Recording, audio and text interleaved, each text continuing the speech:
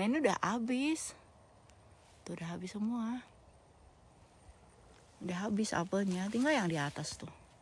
Ada beberapa biji.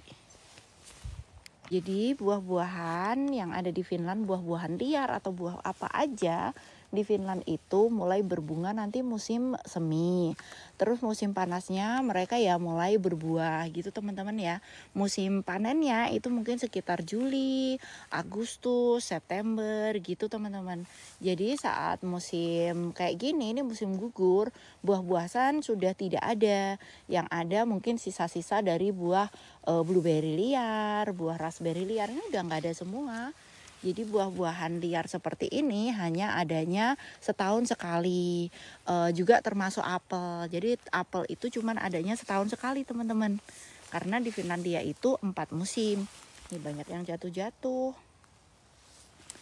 E, terus ini ada buahnya beberapa yang tersisa kayak gini.